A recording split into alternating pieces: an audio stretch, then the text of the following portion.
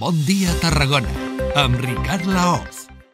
Aquí estem, el Bon Dia Tarragona, la sintonia de Ràdio Ciutat de Tarragona. Després de repassar l'actualitat eh, informativa d'aquest matí de dijous a la ciutat, obrim la segona part del programa, avui per parlar d'un aniversari, per commemorar els 50 anys dels estudis de Filosofia i Lletres i de Química a Tarragona. I és que aquest divendres se celebra l'acte d'obertura, l'acte oficial d'obertura del curs acadèmic de la Universitat Rovira i Virgili, serà d'alguna manera el primer acte, el punt de sortida per commemorar aquest mig segle d'uns estudis eh, emblemàtics per Tarragona, com són els de lletres i els de química. Avui ens acompanya el programa Jaume Aimí, professor. Forma part, de fet, és el coordinador del programa de la comunitat Júbilo, de la URB.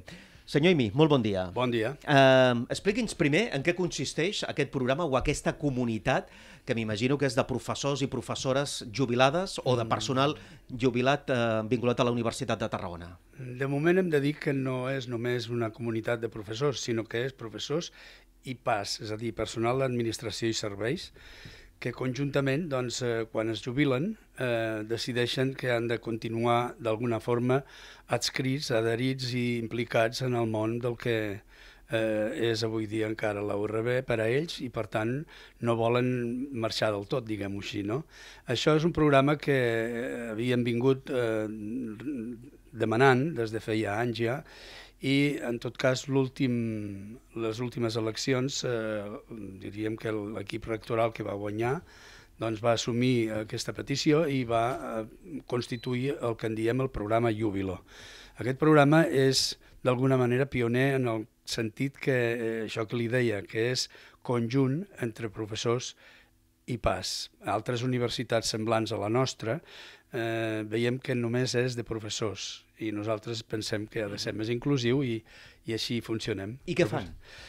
El que fem és, eh, d'entrada, atendre les peticions dels nostres associats en el sentit de sentir-se, ja li dic, sentir-se units, sentir-se mm, que la gent, una vegada s'ha jubilat, fins llavors, fins que no s'ha constituït aquest programa, tenien la sensació que, que, que quedaven abandonats i que no els respectaven en res ni els treien el correu electrònic, el despatx, no cal dir tot, no? I per tant deixaven de funcionar, deixaven de ser membres de la ORB. Nosaltres pensem amb orgull que continuem sent membres i membres actius de la ORB. En aquest sentit ens mantenim, eh, diríem, pendents de tot el que és la ORB com a tal i participem en el que se'ns demana. A més a més, nosaltres, per a la, la gent nostra, muntem, organitzem una sèrie d'activitats de tota mena. Mm -hmm. Per, per vostès, sí. com a comunitat. Mm -hmm. Sí. Quants són aproximadament?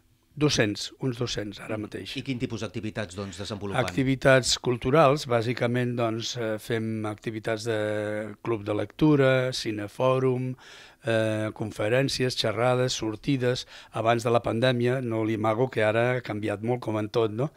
Però doncs, fèiem mm, també visites i viatges i ara això ho hem hagut d'eliminar.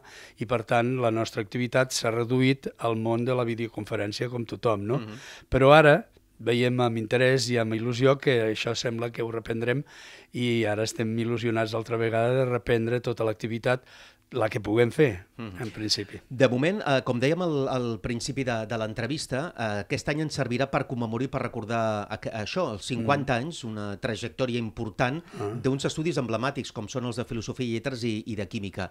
Jaume Aimí va viure precisament eh, la instal·lació d'aquells estudis a Tarragona? Miri, li explico. Jo ara aquest mes faré 73 anys i per tant és clar que he viscut tot això perquè els 50 me'ls hem passat tots. Eh? De manera que l'any 71 li puc dir que jo era estudiant a la Universitat Central de Barcelona i al 75, és a dir, al cap de molt poc temps, ja vaig entrar a formar part del món universitari tarragoní.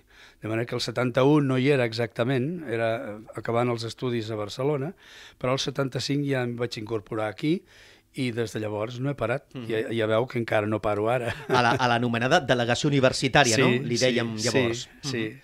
Nosaltres, jo concretament, pertanyia al que era antigament l'Escola de Mestres de Tarragona, que era un centre adscrit a la Universitat de Barcelona, però no, no era ella mateixa com a tal l'escola, no era universitat pròpiament dit encara, però ens vam adscriure i vam seguir pertanyent a la Universitat de Barcelona tots aquests anys fins que es va constituir la URB, llavors en qualitat de facultat com les altres, no? De manera que sí, sí, he viscut tot aquest període. I què creu que representa, amb, amb la perspectiva eh, que han passat 50 anys, què creu que representen aquells estudis de, de filosofia i lletres i de química i la seva instal·lació a, a Tarragona? Bé, eh, resultat, eh, al meu entendre, diríem, un guany importantíssim, una, un desenvolupament cultural de tota mena per a la ciutat i no només per a la ciutat, perquè aquí ara mm, veu que ho centrem eh, bàsicament en Tarragona, però no oblidi que la URB eh, diríem, és més àmplia i per tant avui dia estem parlant d'una universitat eh, amb estudis a Reus, amb estudis eh, mm, és la Universitat Tortosa, de la Catalunya a Vila, Sud. A Vilasec, etc etc. Mm. I per tant, doncs, cobrim més àmbit eh, Però aquells... tot el que suposa el nom en si i la seva actuació durant tot aquest temps. Aquells estudis, però, què suposen en aquell moment, creu vostè?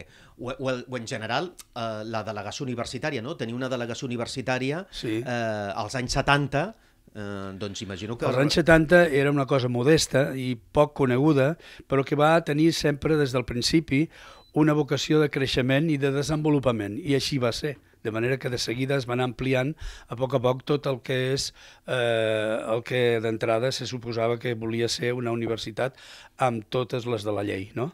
I per tant, de seguida es van incorporar nous estudis i ja van veure de seguida la Facultat de Medicina a Reus i altres facultats que es van anar creant, de manera que va anar eixamplant-se cada vegada més, de manera que es va consolidar d'una manera mm, sostinguda i molt adequada i molt ràpida, mm -hmm. jo diria. En aquella època tot era al voltant de la facultat de la plaça Imperial Tàrrago, sí. de l'edifici emblemàtic que tothom, sí. que tothom coneix. Mm -hmm. Mm -hmm.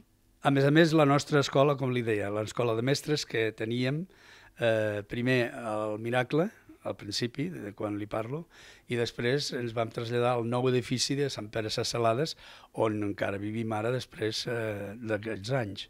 De manera que jo personalment li puc dir que directament vaig viure a la plaça Imperial Tàrraco, eh, i ara li explico més personalment, com a alumne també, perquè jo ja era professor del que he estat fent sempre a la meva facultat, però a la vegada vaig compaginar els meus estudis eh, com a professor i com a alumne, perquè jo vaig fer filologia catalana aquí, als estudis uh -huh. de la plaça Imperial És a dir, Tarragona. era alumne de filologia catalana i professor? Era alumne de filologia hispànica, uh -huh. no, era professor de filologia hispànica, ja, i a la vegada doncs, vaig treure'm també la segona llicenciatura de Filologia Catalana aquí, a Tarragona. De manera que vaig ser, durant uns anys, i amb orgull li puc dir, professor i alumne a la vegada. Uh, I després ha estat eh, professor al voltant de la Facultat de Ciències de l'Educació i Psicologia, no? Exactament. Uh -huh. Impartint tota mena de sí, sí. classes o, o especialitzat en jo alguna... Jo soc filòleg uh -huh. i a partir d'aquí, dins del món de la filologia, he fet, doncs, he fet classes de, de català, en principi, de didàctica de la llengua, de literatura, etc. Després he tingut aficions eh, cinematogràfiques, he fet cineclubs i he muntat eh, moltes activitats, de mm. manera que m'he mogut molt per tot l'ambient aquest i tinc una experiència llarga en totes les coses que hem pogut fer. No? Clar, vostè ha viscut eh, tot el procés, sí. primer de la delegació universitària i després de la creació mm. de la URB ara fa, ara fa 30, 30 anys. anys. Com, com ho definiria? Mm, en fi, en poques paraules, o com valoraria tot aquest eh, procés, no? tot el que suposa tenir una etapa prèvia de delegació universitària de la Universitat de Barcelona i després que eh, la universitat, la d'aquí, esdevingui doncs, això, una universitat pròpia, amb identitat pròpia i amb, i amb el nom de, de Rovira i Virgili. Eh, no li amago que al principi va haver algunes tensions, perquè nosaltres, eh, als anys 80, fins que no va començar la URB el 91, eh, vivíem còmodament instal·lats com a divisió setena uh mhm. -huh. de la Universitat Central de Barcelona. Ja els I anava bé, així. I tant, i estàvem molt consolidats i vam col·laborar en tot el que se'ns demanava des de l'activitat pròpia d'una gran universitat com és la nostra Universitat Mare, que és la central. Altres universitats que es van crear com la nostra, i li parlo de Girona, per exemple, o la de Lleida, pertanyien a altres universitats com l'Autònoma. La, nosaltres no, nosaltres pertanyíem a la central. I en aquest sentit, doncs, vam eh, participar, eh, per exemple, en l'elaboració dels estatuts, a l'època del rector Badia Margarit, en fi, i estàvem molt, molt involucrats en tot el que representava la universitat, perquè, a més a més, hem de dir que la gran majoria érem antics alumnes d'aquella universitat i ens l'estimàvem, ens la sentíem com a pròpia, no? Mm, en el moment en què es decideix des de l'administració autonòmica que es constituiran les noves universitats que llavors ens deien, mm, podríem dir, eh, com ho diríem, no la central, sinó les Mm -hmm. les laterals, no? O les subsidiàries. Les subsidiàries. Això no ens acabava d'agradar, mm -hmm. però d'entrada la idea de, que de pogués... Segona, de segona divisió, sí, entre cometes. Sí, sí. Mm, però com que també hi veiem un cert procés de creixement i de desenvolupament i de més autonomia en el nostre projecte del que voldríem que fos la universitat que desitjàvem a la nostra zona, al nostre territori propi, com aquí, a les comarques de Tarragona, eh, vam tenir de seguida molt interès a fer-ho i vam col·laborar de seguida. En canvi, en el tema del nom, no li amago que vam tenir tensions i conflictes entre la gent que d'entrada propugnava que fos simplement ras i curt Universitat de Tarragona, cosa que no va passar com tothom sap. I per tant aquí va haver alguna dificultat. I bé, es va decidir, diríem, aquesta solució podríem dir salomònica, de no trobar el nom que tocava segons una gent i, i segons un altre doncs tocaven altres noms i a partir d'aquí es va decidir Rovira i Virgili, com sabem uh -huh. el nom. I, I això per sort del nom, creu que l'ha perjudicat, l'ha acabat perjudicant no, a la universitat no, no, o no? No, en absolut. Al principi va ser aquesta sensació, però després, diríem, s'ha anat eh, consolidant i ara, avui dia, gairebé ni, ni la gent ni en fa cas d'això, no? Però eh, en principi, mirant, diríem, el llistat de les universitats de tot l'estat espanyol, vostè s'adonarà que n'hi ha molt poques, per no dir cap, no he mirat ara últimament, que tinguin el nom d'una persona, no? I en aquest sentit, mm, tothom veiem que la qüestió de la rivalitat de tota mena que sempre hem tingut a les nostres comarques, Tarragona, Reus, etc., doncs això hi va, hi va influir moltíssim, però la solució jo diria que ni sóc tarragoní del tot, ni sóc reusenc tampoc. Eh, jo m'hi he sentit a gust i he col·laborat sempre que m'han demanat en tot, eh, tirant endavant. Mm. I 30 anys després, senyor Imí, com veu la, la Rovira i Virgili? La Rovira i Virgili la veig molt consolidada, la veig amb ganes de continuar tirant endavant, amb alguns eh, problemes, diríem, de creixement i amb algunes situacions que són semblants a les d'altres universitats, problemes de finançament, etc. tota la uh, última situació de la crisi en què hem, hem estat vivint, però la veig amb il·lusió, amb interès i amb ganes de continuar i amb ganes de fer un bon servei públic, que és el que pretenem fer. Mm -hmm. I en relació als 50 anys que, que comentàvem dels estudis de filosofia, lletres i química, eh, en faran alguna activitat, en faran alguna, algun acte per recordar-ho, per commemorar? Tenen previst... Eh... Eh, tenim previst eh, un reguitzell d'actes. Eh, en principi ara estem començant a organitzar-los i a muntar-los i aquests dies de començament de curs, com vostè deia, seran els més idonis per començar a organitzar-ho de veritat i que farem a partir de l'any nou, tinc entès, a partir de gener fins a l'abril, em penso, i hi haurà una sèrie de coses, és a dir, hi haurà, mm, hi haurà un audiovisual, hi haurà una AUCA, tinc entès, hi haurà diferents xerrades i conferències, hi haurà un munt d'activitats Molt bé. per doncs, celebrar tot això. Doncs hi haurà temps, aleshores, més endavant, d'entrar en el detall d'aquestes activitats eh, que es preparen per commemorar, eh, de fet, dos aniversaris, els 30 anys de la Universitat de Rovira i Virgili, dels quals segurament s'han recordat molta més gent, i els 50 anys, dels quals ja no s'han recordat tanta gent, que és de la instauració d'aquests estudis